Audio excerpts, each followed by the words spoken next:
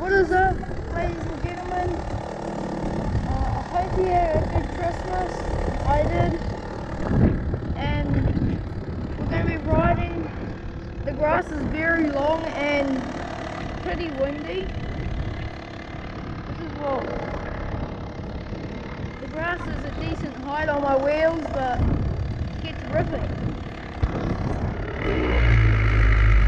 Let's get it! Mm-hmm.